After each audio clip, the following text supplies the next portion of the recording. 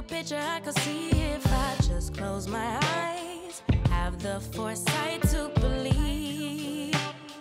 Time don't move backwards, it speeds to the future fearlessly. Charging for